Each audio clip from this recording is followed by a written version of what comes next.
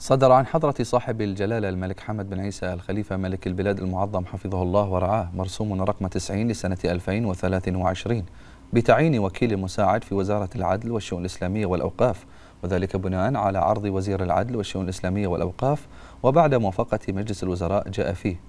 يعين المستشار محمد أحمد علي مقبل وكيلا مساعدا لقضايا الدولة والتعاون الدولي بوزارة العدل والشؤون الإسلامية والأوقاف.